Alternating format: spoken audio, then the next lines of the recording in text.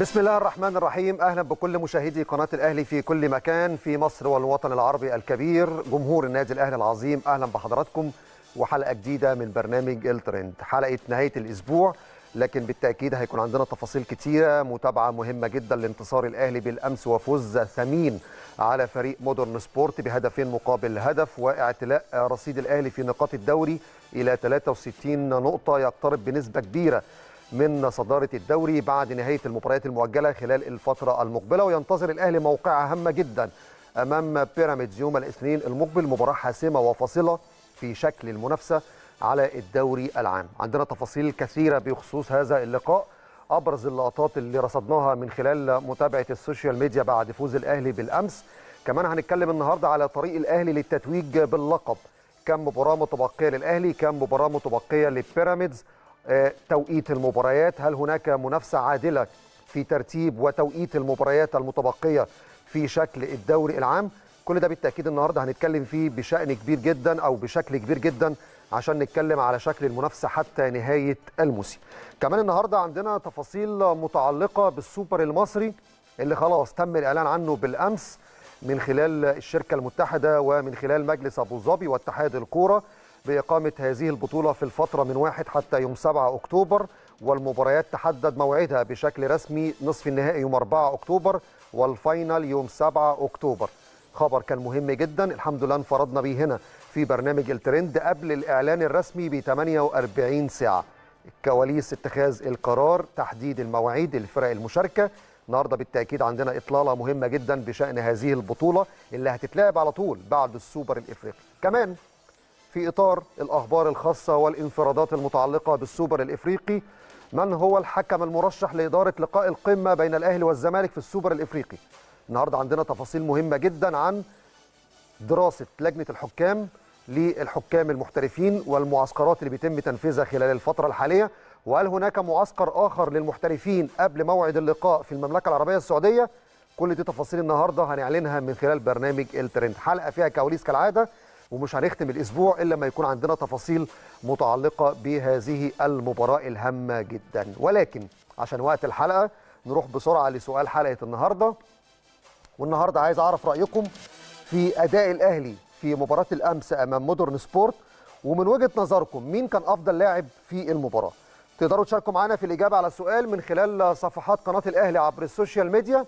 وفي الجزء الأخير هستعرض أكبر قدر من ارائكم على أداء الفريق ومين man of the match من وجهة نظركم رغم إن بالأمس تم منح الجائزه لكريم فؤاد ولكن فرصة كمان نسمع رأي الجماهير من خلال سؤال حلقة النهارده من برنامج الترند لكن دلوقتي نروح لأهم العناوين. البداية في ترند الأهلي. لا وقت للراحة. الفريق يستعد لمواجهة الالومنيوم في كأس مصر. وفي الترند المحلي طبيب المنتخب يكشف موقف كوكا من المشاركة في الأولمبياد. وفي الترند العالمي ريال مدريد يعلن تجديد عقد لوكا مودريتش.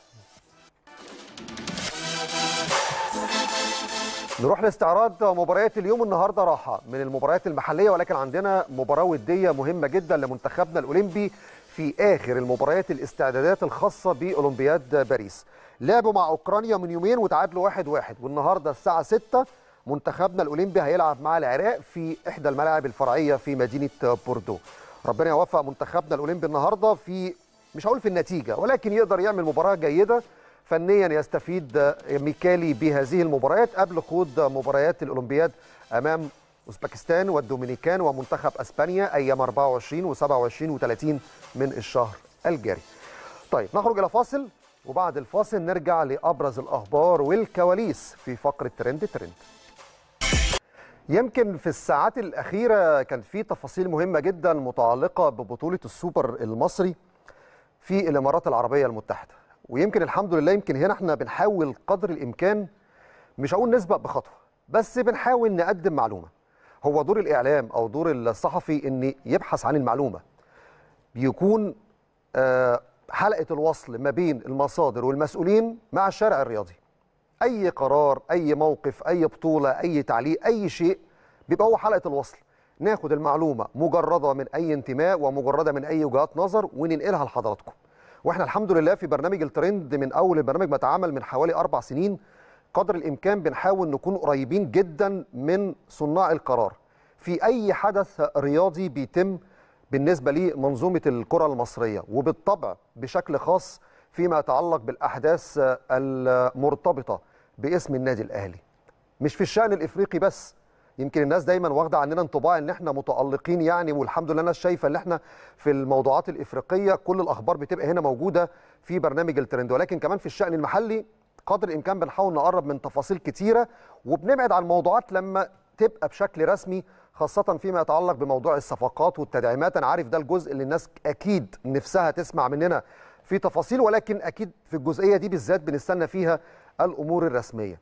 خلال اليومين الثلاثة اللي فاتوا كان مجلس أبو ظبي الرياضي مع الشركة المتحدة اتفقوا بشكل رسمي على إقامة النسخة الثانية في إمارة أبو ظبي ولكن كان الجديد بالنسبة لهذا الموضوع إمتى تقام البطولة؟ وأنا شغال هنا على الهوا. جات لي التفاصيل اللي قدامكم على الشاشة دي. التفاصيل دي دلوقتي أصبحت خلاص رسمية. كأس السوبر المصري للأندية الأبطال في أبو ظبي بالإمارات العربية المتحدة في الفترة من 4 إلى 7 أكتوبر. الفرق المشاركة هتحضر إلى أبو ظبي من 1 أكتوبر عشان تلعب مباراتين. نصف النهائي 4 أكتوبر والنهائي 7 أكتوبر. قبل ما أخش بقى في كواليس الفرق المشاركة واللائحة والتفاصيل هفكركم كده قبل الإعلان الرسمي ده إحنا قلنا هنا إيه؟ بشأن هذه البطولة في توقيت محدش كان واخد باله خالص إن إحنا في شهر سبعة. هل هيكون في تفاصيل متعلقة بالبطولة دي قبل إقامتها بحوالي ثلاث شهور؟ هنا كان عندنا المعلومة وكان عندنا السبق والانفراد وقلت وقت ما جات لي المعلومة بالظبط. طبعا مش هكشف عن المصدر لأن المعلومة اللي بتجيلنا هنا بتبقى معلومة مؤكدة وموثقة وجات لي تفاصيل التفاصيل. بس في وقتها وأنا في الفاصل على طول رجعت وقلت لكم كل التفاصيل. تعالوا نسمع إحنا قلنا إيه؟ وهرجع عشان هتكلم بالتأكيد على الفرق المشاركة ومين أبرز الأندية اللي هتكون موجودة في الفترة من 1 حتى 7 أكتوبر في إمارة أبو ظبي. طيب في إطار الأخبار الحصرية والانفرادات اللي بننفرد بها هنا في برنامج الترند ويمكن كنت بتابع معاكم وبكلمكم على السوبر الإفريقي ما بين الأهلي والزمالك في المملكة العربية السعودية. سوبر آخر ولكن سوبر مصري. بإذن الله إن شاء الله يمكن خلال ساعات سيتم الإعلان والتحديد بشكل رسمي عن إقامة كأس السوبر المصري في الإمارات العربية المتحدة خلال الفترة من 1 إلى 7 أكتوبر. ده كلام يمكن في الاجتماعات وفي الغرف المغلقة تم الاتفاق عليه بشكل رسمي ما بين الجانب المصري مع الجانب الإماراتي ويمكن ده خبر بنعلنه من خلال شاشة قناة الاهلي عبر برنامج الترند إن خلال الساعات وفي خلال الأيام المقبلة سيتم الإعلان عن إقامة مباريات كأس السوبر المصري في الإمارات العربية المتحدة خلال الفترة من 1 حتى 7 أكتوبر. الناس كلها بتسأل يعني هنلعب السوبر مع الزمالك يوم 27 9 صحيح في الرياض والاهلي هيطير من المملكة العربية السعودية إلى الإمارات العربية المتحدة عشان يخوض مباريات السوبر المصري. طبعا بنسبة كبيرة إن شاء الله الاهلي هيكون طرف أصيل في هذه البطولة لما بنتكلم على السوبر المصري في الإمارات بمشاركة أربع فرق وهي البطولة اللي تم تسميتها في المسمى الجديد سوبر المصري للأندية الأبطال بمشاركة أربع فرق بطل كأس الرابطة بطل كأس مصر وبطل ووصيف الدوري العام. فبنسبة كبيرة إن شاء الله النادي الأهلي هيكون ممثل في هذه البطولة وهذه البطولة ستنطلق بعد مباريات كأس السوبر الإفريقي اللي هيتلعب في المملكة العربية السعودية يوم 27 9 ده خبر خاص وانفراد لحضراتكم هنا من برنامج الترند لسه واصل لي حالا. وتم التأكيد من خلال هذه المواعيد إن السوبر هيتلعب في الفترة من 1 حتى 7 أكتوبر وبإذن الله تكون مشاركة جيدة. فرصة لبطولتين كبار جدا سوبر إفريقي وسوبر مصري في فترة قصيرة جدا ما بين المملكة العربية السعودية في الرياض وفي الإمارات العربية المتحدة وتحديدا في إمارة أبو ظبي. وبالفعل كما أكدنا لحضراتكم ووعدناكم إن خلال ساعات أو خلال أيام قليلة جدا هيتم الاعلان بشكل رسمي وبالفعل بعد 48 ساعة بالظبط دي حلقة يوم الأحد اللي فات يوم 14 7 إمبارح يوم الثلاثاء في حوالي الساعة الثامنة. مساء تم الإعلان بشكل رسمي عن كل التفاصيل المتعلقة بهذه البطولة. وإحنا دايما بنوعدكم أن الفترة الجاية كل الجديد وكل الحصريات والأخبار اللي بتتعلق بالنادي الأهلي في كل التفاصيل محليا وإفريقيا ودوليا هتكون عبر برنامج الترند في شاشة قناة الأهلي. طب الفرق المشاركة. شفنا بالتأكيد الإعلان الرسمي قالوا بطل الدوري بطل كأس مصر بطل كأس الرابطة وفي كارت ذهبي لاختيار الفريق الرابع اللي هيشارك في البطولة. طيب بطل الدوري هي المنافسة حاليا ما بين الأهلي وبيراميدز. مفيش فريق تاني داخل في المنافسة الحالية. بطل كأس الرابطة إحنا عارفين نهائي final كأس الرابطة هيكون ما بين طلائع الجيش وسيراميكا كليوباترا. فأحدهما اللي هيفوز باللقاء هيتأهل للمشاركة في هذه البطولة اللي هتتلعب نصف نهائي يوم 4 10 والنهائي يوم 7 10 كأس مصر هل هناك اتجاه بالفعل لإقامة نهائي كأس مصر أو المرحلة النهائية من كأس مصر في الفترة من 19 حتى 29 ده هنشوفه في الفترة اللي جاية وإن كان الأمر ده هيكون فيه أزمة كبيرة جدا تتعلق بتفاصيل كتيرة أنا شرحتها امبارح. والكارت الذهبي ده اللي هيبقى الاختيار على أساسه هل ممكن يكون وصيف الدوري؟ هل ممكن يكون فريق ليه شعبية كبيرة لا فاز بالدوري ولا كان وصيف الدوري ولا فاز بالكاس لو الكاس خلص ولا كان بطل كأس الرابطة؟ ده اللي هنشوفه الفترة اللي جاية. ولكن الرؤية تتجه لتواجد أربع أندية من خلال هذه المعايير بنسبة كبيرة. الأهلي بيراميدز الزمالك. إذا لم يفوز بأي أي شيء من البطولات دي ممكن يكون هو ده الكارت الذهبي. والفريق الرابع هيكون يا إما سيراميكا كليوباترا أو طلائع الجيش. عموما خلاص الميعاد تم تحديده. المباريات هتتلعب في أبو ظبي. والفترة اللي جاية هننتظر بقى نشوف الموقف الرسمي للبطولات كلها. هتبقى ماشية بأي شكل. البطولة هتخلص يوم سبعة والناس من امبارح عمالة تبعت تقول لي كلامك صح الفاينل سبعة بس سبعة ده أجندة دولية. من حسن حظ منتخبنا الوطني في التوقيت ده إن الأجندة الدولية هتبدأ سبعة ولكن أول مباراة في الأجندة دي هتبقى في القاهرة مع منتخب موريتانيا. يقدر منتخبنا يحدد المباراة يوم 10 أو يوم 11 أكتوبر؟ مش هيكون عنده أي أزمة. فكرة ان يعمل معسكر بدري قبل 7 أكتوبر هيعمل معسكر بناء على إيه؟ لا في دوري ولا في كاس. فهتبقى فرصة كويسة. يستفيد بالسوبر الإفريقي ويشوف أفضل لعيبة ويستفيد بالسوبر المصري وفي أربع أندية تلعب مجموعة من المباريات. وبعدها ياخد اللعيبة ويلعب معسكر في شهر 10 وده المعسكر اللي المنتخب هيلعب فيه مباريات رسمية المؤهلة لكأس الأمم في المغرب. وبالتالي يقدر يلعب ماتش موريتانيا يوم 10 والأجندة تخلص يوم 15 وقتها موريتانيا هتلاعب مصر إما 14 أو 15 وبالتالي مفيش أي أزمة اطلاقا في هذا الموضوع. وأكيد المواعيد هيتم إعلانها في التصفيات الإفريقية خلال الفترة اللي جاية. ده رقم واحد. رقم اثنين ماتش الأهلي امبارح مع مودرن سبورت. هنا من نفس المكان قلت لحضراتكم ماتش صعب جدا. ماتش قوته والفنيات اللي فيه ممكن تكون أقوى من مباراة الأهلي وبيراميدز. انت بتلاعب فريق عنده خط دفاع قوي جدا. وبالفعل ده اللي حصل. مودرن سبورت تقدم بهدف والأهلي تعادل. وفي الشوط الثاني بعد التغييرات الأهلي تقدم بهدف ثاني لبيرسي تاو. مباراة كانت صعبة من جميع الجوانب ولكن لما تبصوا على الأول التشكيل قبل ما أروح للقطات اللي عايز أتكلم عليها كولر بدأ بنفس تشكيل مباراة بيراميدز ولكن استبدل مروان عطية وبدأ بمحمد مجدي قفشة. كان ليه فلسفة معينة في أداء الفريق لأنه عارف إن بيلاعب فريق دفاعيا قوي جدا فكان محتاج يبدأ بقفشة وإمام عاشور. عشان كده الأهلي كان عنده فاعلية هجومية بشكل كبير جدا في الجانب الهجومي لما عمل تغييرات نزل بيرسي تاو ورضا سليم مكان حسين الشحات وطاهر وعلى طول جه الهدف الثاني لبيرسي تاو بعدها عمل تغييرات بكهرباء وكريم ندفيد مكان إمام عاشور وحسام أبو علي وعمل نشاط هجومي شوية ونشاط في وسط الملعب. يعني بالتالي كانت تغييرات مهمة جدا وأمن دفاعيا بنزول إليو ديانج مكان قفشه بعد ما خلاص الأهلي تقدم بهدفين مقابل هدف. إدارة فنية كانت جيدة جدا من مارسيل كولر ولكن بقى تعالوا كل التفاصيل الفنية وكل الكلام المتعلق بالمباراة اتقال امبارح في الاستوديو التحليلي. لكن هنا إحنا رصدنا المباراة دي من جانب متعلق بالسوشيال ميديا. امبارح الجماهير ركزت على ثلاث لقطات. أول لقطة لقطة الهدف الملغي لمحمد مجدي قفشة. ناس كتيرة عمالة تسأل. قدامنا اللعبه اهي على الشاشة ويمكن حصل اختلاف ما بين خبراء التحكيم في اللعبة دي.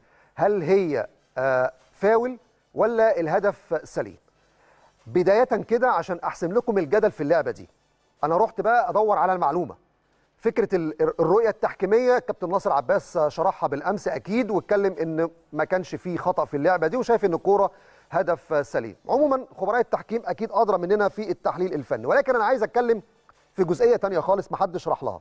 إيه هي؟ هو الكابتن محمد عادل وقت ما في فاول اتحسب على وسام أبو علي أو في احتكاك ما بين عمرو السيسي ووسام أبو علي. محمد عادل صفر ولا عمل ديلي؟ وبعد ما عمل ديلي وقفشة سدد والكرة دخلت هدف فحسب فاول. خدوا مني المعلومة دي بشكل رسمي. كابتن محمد عادل ما صفرش حط الصفارة بقه وما صفرش. وعمل ديلي. فالفار هنا راجع اللعبة.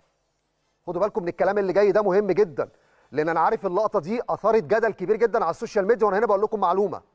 هنا حكم المباراة. الكابتن محمد عادل عمل delay حط الصفارة في بقه لكن ما صفرش عمل delay. وهنا الفار كان بيراجع اللعبة. طيب هو الحمد لله الأهلي كسب والخطا ده ما أثرش في نتيجة اللقاء. ولكن لما اتعمل ديلي والفار بيراجع نفسي أسأل سؤال للكابتن محمود بسيوني. هو أنت يعني بتجري بسرعة عليه في مراجعة أي لعبة فار مع النادي الأهلي؟ والله بجد يعني أنا عايز أسألك سؤال واتمنى اجد اجابه. يعني تجي لي الاجابه دلوقتي وأنا على الهواء تجي لي الاجابه بعد الحلقة تجي لي الاجابه الأسبوع اللي جاي. بس أنا بجد السؤال ده نفسي اساله له من كذا سنه بس جت فرصه اساله له تاني. لأن الكابتن محمود بسيوني هو اللي كان حكم فار في مباراه الاهلي والجيش في ملعب الجيش في السويس والكوره عدت الخط والكابتن إبراهيم نور الدين ما خدش قرار والكابتن محمود بسيوني ما رجعش اللعبه. قال لك confirm العب. فاكرين وقتها كان تحسين أبو السادات هو المساعد الثاني أو المساعد الأول في هذه اللعبة. وقتها كان معانا ضيف في قناة الأهلي مع الكابتن. مع الكابتن ناصر عباس وقال له ساعتها بسيوني راجع خد وقتك دي لعبة الدوري. وبالفعل هي اللعبة دي خسرت الأهلي الدوري.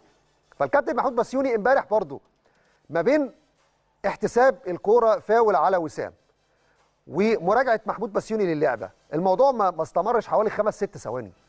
خد وقتك يا كابتن بسيوني محدش بيستعجلك والله. محدش بيقول لك هتحصل أزمة ولا مشكلة. خد وقتك راجع. عندك كذا زاوية. استدعي الكابتن محمد عادل. هو خد قرار إن الكرة فاول والهدف غير صحيح وملغي.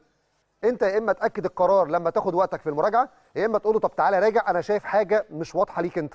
ما فيهاش مشكلة مش غلط على فكرة. يعني حكم الملعب لو خد قرار غلط والفار راجعه وقالوا لا في خطأ والحكم طلع بص على الشاشة وشاف إن هو أخطأ المهم في النهاية العدالة اتطبقت. هي يا جماعة حكم الملعب لو أخطأ والفار راجع مش بنحسب لقطة هنا أو يبقى في لقطة هنا على حكم الملعب أو في لقطة هنا على حكم الفار. أنتوا بتكملوا بعض. فنفسي أسأل الكابتن محمود بسيوني أنت مستعجل ليه؟ وراك إيه في مباريات الأهلي عايز تنجز بسرعة؟ راجع اللعبة وخد وقتك كويس جدا.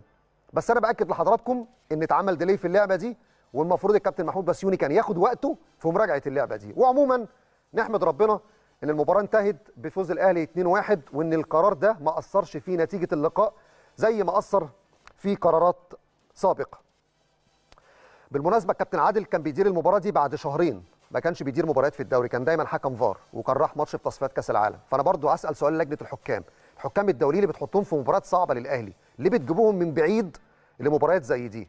أتمنى بس يكون في تركيز في تعيينات الحكام وما تبعدوش الحكام الدوليين على المباريات الهامة عشان ما تأثرش على أدائهم في المباريات اللي جاية. دي رسالة للجنة عشان اللي جاي بصراحة ما فيهوش يعني إيه أي هزار وأنا بفترض دايما حسن النية لدى لجنة الحكام. الحاجة الثانية وقت ما مودرن سبورت أحرز هدف التقدم على الأهلي بغض النظر عن الهدف ولكن كانت في لفتة رائعة جدا. وهنا دورنا نبرز الأمور الإيجابية اللي ممكن السوشيال ميديا يركز عليها. بصوا هنا لعيب نادي بير مودرن سبورت خد صورة أو تيشيرت عليه صورة أحمد رفعت من أحد الإداريين وراح لجمهور النادي الأهلي. اللقطة دي وقت إحراز هدف في مرمى الأهلي. ولكن أنا عايز أجيب الصورة هنا بصوا على جمهور الأهلي. وقف الصورة هنا وقف الفيديو هنا. بص جمهور الأهلي بيعمل إيه. أو خلي الفيديو بس يتعرض كده بالبطيء. الجماهير بتسقف. دي الحاجات الإيجابية اللي إحنا عايزين نعرضها ونبرزها عبر السوشيال ميديا ومن خلال البرامج. دخل الأهلي دخل في مرمى الأهلي هدف. واللي الفريق اللي جاب في الأهلي هدف واخد تيشيرت أحمد رفعت ورايح ناحية جمهور الأهلي بيوري اللفتة بتاعت رفعت اللي على التيشيرت. جمهور الأهلي ما افتكرش الهدف وإن فرقته ممكن تخسر وإن ممكن الماتش ده يؤثر على المنافسة على الدوري. ولكن جمهور الأهلي حاسس بالموقف وعارف الموقف. على طول كان في تحية لأحمد رفعت وتحية لفريق مودرن سبورت والدوام والبقاء لله. وخالص التعازي لأحمد رفعت وأسرة أحمد رفعت. دي لقطة كانت إيجابية جدا في السوشيال ميديا. اللقطة الثالثه وهي من اللقطات المهمة جدا وبتتكرر للمرة الثانية وده ان دل على شيء بيدل إن أنت عندك مدير فني واقف على الخط ما بيهزرش. إيده دايما شغالة ورقة وقلم وبيحضر وبيشوف بيشتغل إزاي. وقت ما كانت النتيجة تعادل إيجابي واحد واحد وبيستعد لإجراء تغيير كان مهم جدا بنزول رضا سليم وبيرسي تاو مكان حسين الشحات وطاهر محمد طاهر. بيرسي تاو ادى ورقة لمحمد عبد المنعم قدامنا على الشاشة هي لما اداله الورقة. منعم بص في الورقة. وابتدى يوجه زملائه في وسط الملعب. عشان طريقة لعب معينة هتتنفذ.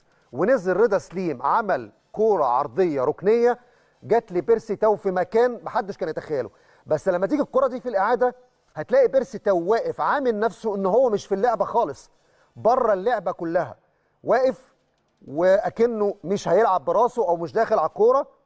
ودي اللقطه اللي خد منعم فيها الو- الورقه من بيرسي تاو واتلعبت الكره العرضيه بعدها على طول بركنيه عشان يجي الهدف الثاني هي تفاصيل التفاصيل اللي ممكن نشوفها في المباريات.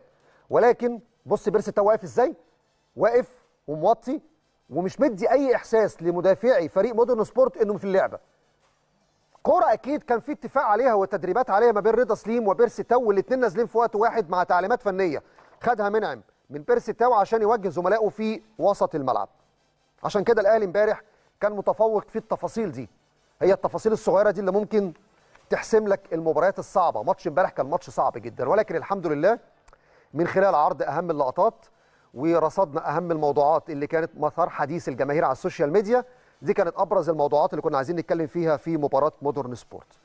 طيب نروح لحاجة ثالثه وهو طريق الأهلي. قطار الأهلي نحو التتويج بالدوري. هيبقى إزاي؟ هتكلم في جزئيتين. طريق الأهلي نحو الدوري هيبقى فيه نقطتين. نقطة متعلقة بمواعيد وترتيب المباريات. والنقطة الثانية هعمل مقارنة ما بين مسألة ال fair play والعدالة في المنافسة ما بين الأهلي وبيراميدز. طريق الأهلي للتتويج باللقب متبقى عليه تسع مباريات.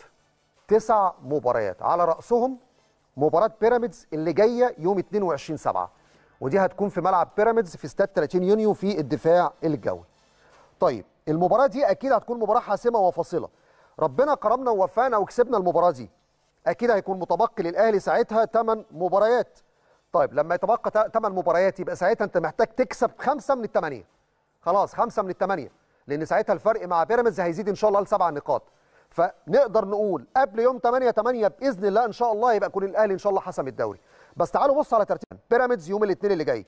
المصري في برج العرب يوم 26 سيراميكا في القاهرة يوم 29 بعدها بيومين البنك الأهلي 1 8 بعدها المقاولين 4 8 بعدها سموحة 8 8 زد 11 8 إنبي 11 آه، 14 8 مودرن سبورت اللقاء الأخير يوم 17 8 بص ترتيب المباريات. ترتيب قاتل. كل 48 ساعة و72 ساعة مباراة. ده جدول وترتيب مباريات الأهلي. تعال بقى نعمل مقارنة مع ترتيب مباريات بيراميدز. عشان في حاجات في النص كده هتعمل لك صدمة على الهواء بيراميدز متبقي له ست مباريات في الدوري العام. ست مباريات في الدوري العام. هيلعب مع الأهلي يوم الاثنين اللي جاي. ده نفس توقيت مباراه الأهلي برضو يوم 22 7 طيب هيلعب مع الزمالك يوم 26 7 وده نفس توقيت مباراته مع الأهلي والمصري يوم 26 7 هل ينفع ممكن نعمل الجدولين قصاد بعض يا جماعة؟ ويندو كده يبقى الاثنين قصاد بعض. لو ينفع يبقى كويس قوي. طيب بعد الأهلي ما يلعب المصري 26 هيلعب يوم 29 ولكن بيراميدز هيلعب 30 مع فاركو فواخد يوم زيادة راحة. واخد يوم زيادة راحة.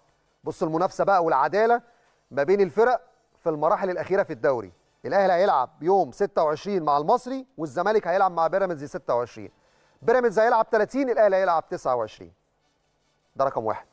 رقم اثنين بعد بيراميدز وفرق يوم 30 هيلعب مع زد FC يوم 4 8 الأهلي هيلعب يوم 1 8 وهيلعب 4 8 يعني مباراة ومباراة الأهلي هيلعب مباراتين. ما بين 29 7 ل 4 8 هيلعب مباراتين. بيراميدز هيلعب من 30 7 ل 4 8 مباراة واحدة. أدي اوفرلود مباراة زيادة للنادي الأهلي. يبقى يوم راحه زيادة لبيراميدز مباراة زيادة للنادي الأهلي. من 4 8 ل 14 8 بيراميدز هيلعب مع الداخلية. من 4 8 ل 14 8 بيراميدز هيلعب مع الداخلية يوم 14 يعني في 10 أيام راحه 10 أيام راحه طب الأهلي من 4 لغاية 11 لا من 4 لغاية 14 من 4 لغاية 14 ما هو بيراميدز هيلعب 4 و14 الأهلي هيلعب 4 و14 بس ما بينهم في مباراتين. هيلعب يوم 8 مع سموحة وهيلعب يوم 11 مع زد FC. في overload مباراتين للأهلي. بصوا إحنا بنتكلم على مراحل حاسمة لشكل الدوري. المؤجلات جابتنا إزاي بالشكل ده؟ بعد كده 14 و17 بيراميدز مع الداخلية وبيراميدز وطلائع الجيش 14 و17 انبي والأهلي والأهلي ومودرن سبورت. طب نفترض أو مش نفترض ده قرار رسمي. بيراميدز هيلعب في الفترة بتاعت 14 17 8 مباراة تمهيدي إفريقيا خارج مصر. فبالتالي المباراتين دول هيتأجلوا. هل ممكن يتقدموا شوية؟ يتلعبوا في الفترة من 4 ل 14 والأهلي كان هيلعب برضه 8 11 ولا الوضع ساعتها هيكون إيه في المنافسة؟ شكل الدوري بترتيب المباريات بالفراغات اللي قلتها لحضراتكم ما فيهاش أي عدالة كلها بتصب لصالح بيراميدز. يبقى المؤجلات اللي كانت بتحصل كانت بتحصل لصالح المنافسين. ضغط الأهلي في مباريات الدوري بتحصل لصالح المنافسين. والكل كان بيراهن على إن الأهلي هيقع بعد ما يخلص مشوار إفريقيا زي ما حصل من سنتين. ولكن إرادة ربنا كانت فوق كل شيء. الأهلي عمل 14 انتصار متتالي في الدوري بعد ما رجع من بطولة إفريقيا وفاز بالبطولة على حساب الترجي. عشان كده الأهلي دخل في المنافسة فدلوقتي هيبقى الرهان على الماتشات اللي جاية. رجاء من جماهير النادي الأهلي. افصل وبلاش تعقد مقارنات ولا تحاسب لعيبتك ولا تقسو على أي لاعب في الفريق دلوقتي. إحنا دلوقتي أمام موقعة ومباريات صعبة جدا وطريق ملغم في مشوار الدوري. زي ما عرضت المباريات والراحات ما بين المباريات وترتيب المباريات. تركيزنا على الفترة اللي جاية إزاي نقدر نعدي المطبات الصعبة دي. طيب ده بالنسبة للامر المتعلق بطريق الأهلي للتتويج باللقب.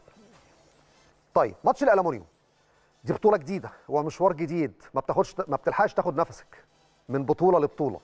النهارده الفريق هيستأنف تدريباته وأكيد كولر بيحضر بشكل كويس لماتش الالومنيوم هل هيبقى في rotation أكيد كلنا متوقعين ده. مين اللي هيكون جاهز للمباراة دي؟ كولر إزاي هيحضر للمباراة دي النهارده الأربع والماتش يوم الجمعة؟ يعني يا دوبك النهارده وبكرة معسكر والمباراة يوم الجمعة. كل ده أكيد هنعرفه من خلال زميلنا كريم أحمد المتواجد حاليا في مقر النادي الأهلي بالجزيرة عشان نسأله على كافة التفاصيل المتعلقة باستعداد الأهلي لماتش الالومنيوم مساء الفل يا كريم. مساء الخير عليك زميلي العزيز محمد سعيد كل التحية ليك ولكل مشاهدينا وكل جمهور النادي الأهلي في كل مكان.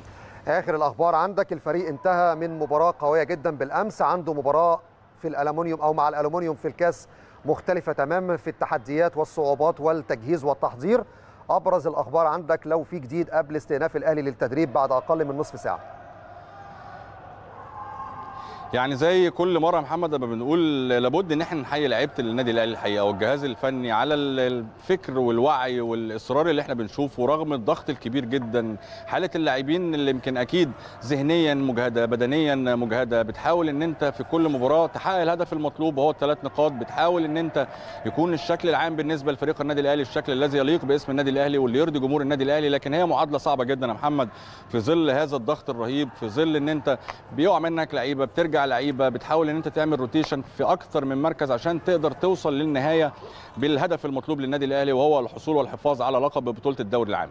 فيمكن حقيقة لعيبه النادي الأهلي على مباراة الأمس لسه المشوار طويل بالنسبة لبطولة الدوري العام لكن الشيء المهم جدا وما يميز فريق النادي الأهلي هو الفصل بين البطولات وده أمر مهم جدا. بطولة الدوري لا اختلاف كبير بأشكالها عن بطولة كأس مصر النوك أوت أو مباراة النوك أوت بتحتاج مجهود كبير جدا وتركيز كبير جدا أنصاف الفرص لابد يكون استغلالها فده أمر مهم جدا بالتأكيد. كولر اتكلم مع لعيبة النادي الأهلي وهيتكلم أيضا كمان معاهم النهارده قبل انطلاق المران. هيقابل أكيد كولر بعض الصعوبات يا محمد في التحضير الخاص بالمباراة.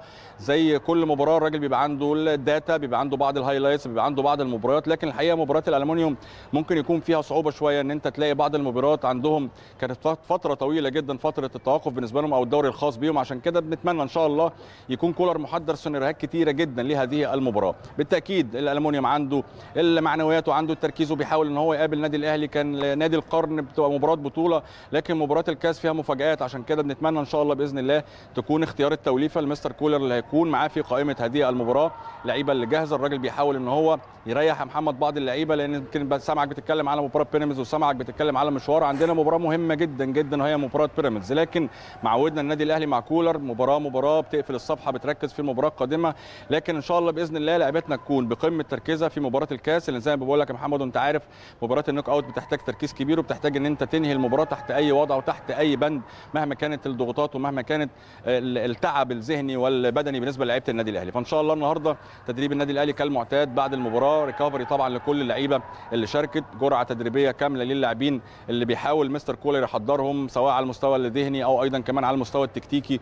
الراجل بيشرح أمور كثيرة جدا عملي وبيبدأ يطبقها لكن الوقت قليل يا محمد. النهارده ريكفري بكرة تدريب وحيد لمعسكر مباشرة إلى أحد الفنادق طبعا القريبة جدا من استاد القاهرة كالعادة ثم مباراة يوم الجمعة. فإن شاء الله بإذن الله بنتمنى كل التوفيق للنادي الاهلي في مباراة الكاس. يمكن زي ما إحنا عارفين السولية وعمر كمال غابوا عن المباراة الماضية لكن من المعلومات اللي وصلنا إن عمر كمال بمشيئة الله يكون متواجد في قائمة فريق النادي الأهلي مباراة الالومنيوم القادمة. السولية في تأني كبير جدا عليه الراجل اشتكى من السمانة فبيحاولوا إن هم يدوا له متسع من الوقت عشان يكون ريكفري بالنسبة للسولية وتأهيل كامل على أساس بإذن الله إن شاء الله يكون في قمة تألقه وقمة جاهزيته في مباراة بيراميدز في بطولة الدوري. الأمور الحمد لله يا محمد بالنسبة لفريق النادي الأهلي طيبة المعنويات مرتفعة جدا الكل مركز الكل عارف إن هي تحديات لكن التحديات دي إن شاء الله بإذن الله ما بتكلل بالنجاح. الأمور كلها بتختلف بشكل كبير جدا. أو بتحصل على الثلاث نقاط الأمور كلها بتنتهي وما بتحسش بأي تعب أو أي مجهود فات. فإن شاء الله بإذن الله كولر يكون جاهز لعيبتنا تكون جاهزة ويا رب إن شاء الله بإذن الله تكون خطوة مهمة جدا في بطولة كأس مصر وانطلاقتها تكون مباراة الالومنيوم بمشيئة الله. بإذن الله. زميلنا العزيز كريم أحمد موفد قناة الأهلي شكرا جزيلا ليك. على كل هذه المعلومات والإيضاحات من مقر النادي الأهلي في الجزيرة قبل استئناف التدريبات بعد نصف ساعة من الآن. نخرج إلى فاصل ثم نواصل. طيب أكيد عايز أطمنكم دلوقتي على أحمد نبيل كوكا نجم خط وسط فريق النادي الأهلي والمنضم حاليا مع المنتخب الأولمبي اللي بيستعد في فرنسا للألعاب الأولمبية في باريس. أحمد نبيل كوكا كان تعرض لإصابة في منتصف الشوط الأول في مباراة أوكرانيا الودية مع منتخبنا الأولمبي. وخرج على أثرها بسبب الإصابة وعلى طول أجرى أشعة.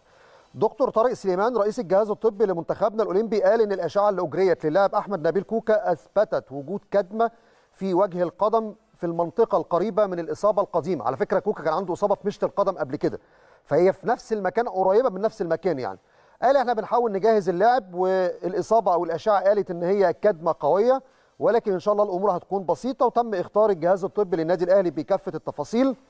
واللاعب دلوقتي بيجري جلسات علاجية وتأهيلية تحت إشراف دكتور صلاح عاشور أخصائي التأهيل والعلاج الطبيعي بمعدل جلستين في اليوم. نتمنى بإذن الله يكون كوكا جاهز على المباريات الرسمية اللي هتبدأ يوم 24 7 طيب النهارده المنتخب هيلعب مباراة ودية مع العراق الساعة 6 في بوردو في فرنسا. التشكيله هيلعب بيه منتخبنا النهارده قدامكم اهو على الشاشة بعد أقل من 20 دقيقة. حمزة علاء في حراسة المرمى. عمر فايد اللاعب المحترف في الدوري الصربي والمعار من فنار بخشة التركي مع أحمد عيد في الدفاع حسام عبد المجيد كريم الدبيس ده خط الدفاع مع حمزة علاء حارس المرمى. نص الملعب محمد شحاتة محمد النني كابتن المنتخب أحمد عاطف وفي الهجوم أحمد سيد زيزو وإبراهيم عادل وأسامة فيصل. على دكة البدلاء في مغربي وأحمد سيد عبد النبي ومحمد سيجا ومحمد حمدي وبلال مظهر ومحمد طارق وكوكا على الدكة بس أعتقد مش هيلعب يعني. هو خلاص عندنا المعلومة إن هو مصاب. ومصطفى سعد ميسي وزياد كمال ومحمود صابر طيب ده تشكيل منتخبنا الأولمبي. نتمنى التوفيق يا رب لمنتخبنا الأولمبي. عندهم مباريات صعبة جدا يوم 24 و27 و30 7 كل 48 ساعة مباراة مع الدومينيكان وأوزبكستان والختام مع منتخب أسبانيا. وإن شاء الله المنتخب يتأهل إلى دور الثمانيه زي الإنجاز اللي اتحقق في البطولة الماضية في طوكيو بالوصول لدور الثمانيه وإن شاء الله يكملوا ويروحوا للمربع الذهبي ولما لا يلعبوا على ميداليه طيب آخر الأخبار الحصرية اللي معانا النهارده. وأنا سايبه آخر حاجة لأنه من الموضوعات المهمة جدا. وخدوا مني الكلام ده من دلوقتي بدري بدري كده. ماتش السوبر ما بين الأهلي والزمالك 27 9 النهارده إحنا بنتكلم قبل الماتش بحوالي شهرين و10 أيام. مين حكام السوبر الإفريقي؟ هل ممكن يكون حكم مصري؟ سؤال. ممكن بنطرحه. الناس تقول لي إزاي حكم مصري؟ هو برضه الأهلي والزمالك سوبر إفريقي وأكيد ممكن يكون حكم مصري لأن انت هنا ما عندكش منافس آخر غير مصري. هل ممكن الاتحاد الإفريقي يفكر فيها بالشكل ده؟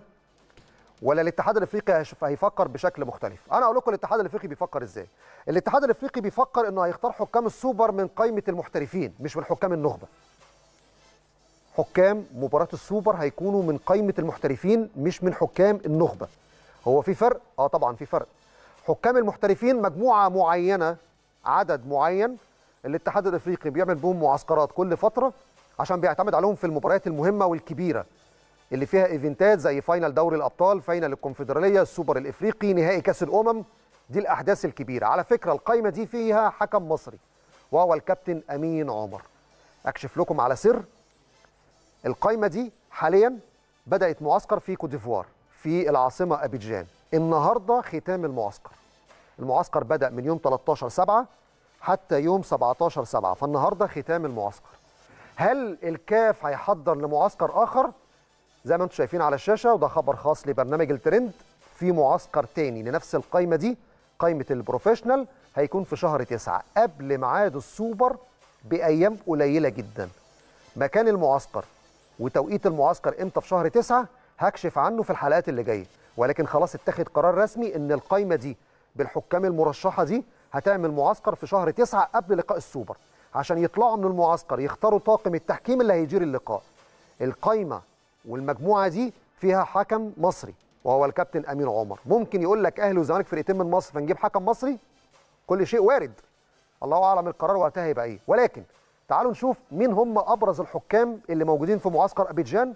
واللي هيكونوا موجودين في معسكر شهر تسعة قبل مباراة السوبر ودي القايمة اللي مش هتخرج منها حكام مباراة السوبر والقايمة فيها مفاجأة ليه؟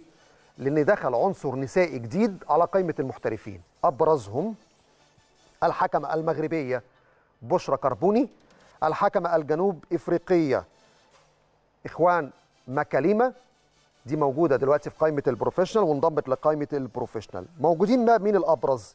فاكرين بيير أتشو اللي ادار السوبر ما بين الاهلي واتحاد العاصمة؟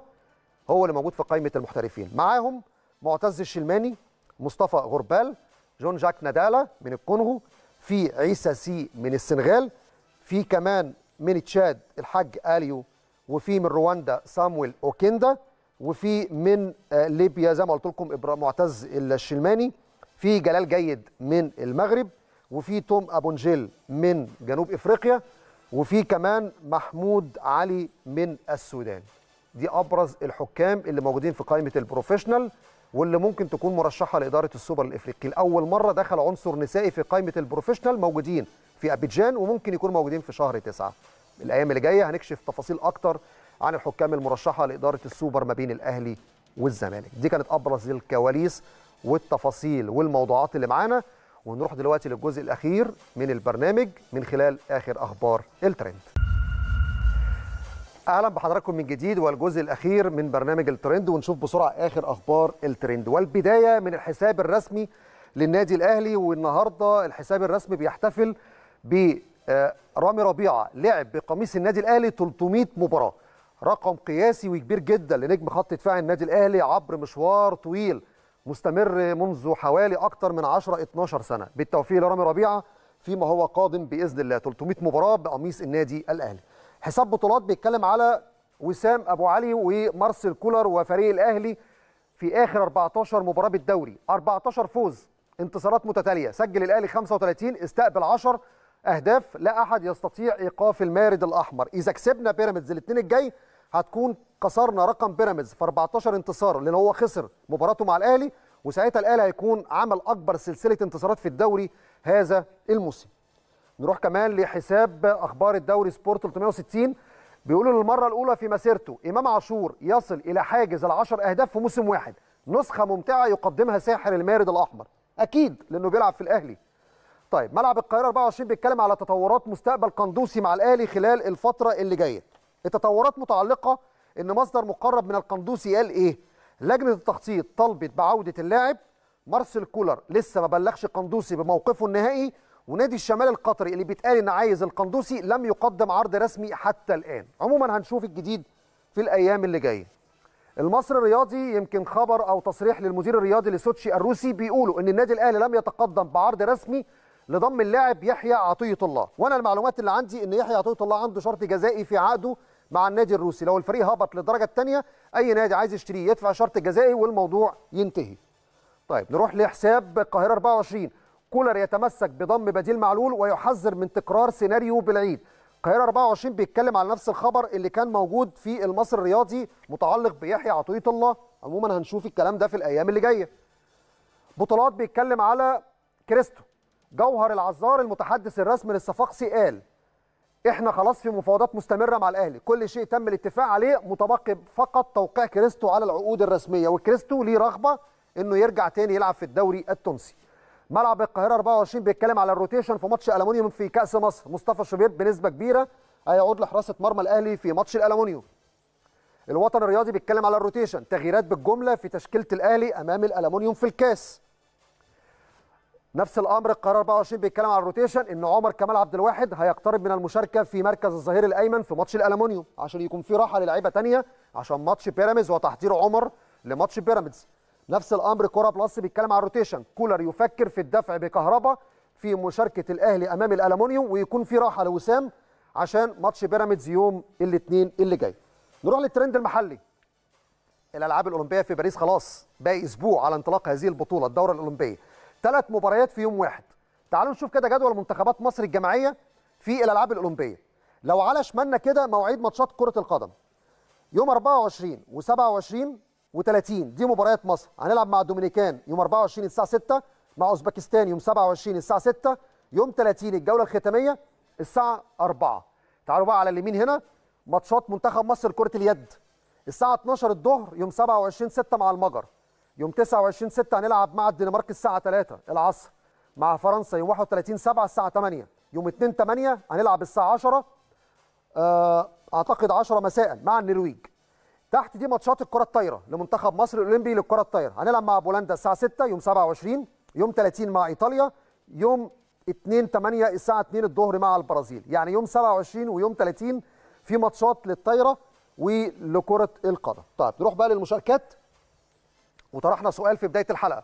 رأيكم في أداء الأهلي في مباراة مودرن سبورت ومين man of the match من وجهة نظركم؟ ياسر بيقول أداء جيد والأهم الثلاث نقاط في ظل ضغط المباريات وإن شاء الله الدوري أهلاوي وأحسن لاعب كريم فؤاد. متفق مع man of the match امبارح. محمد بيقول أداء نستطيع القول إنه جيد في ظل الظروف الراهنة من إصابات وغيابات وضغط مباريات. أفضل لاعب بشوفه قفشة تفوق على نفسه.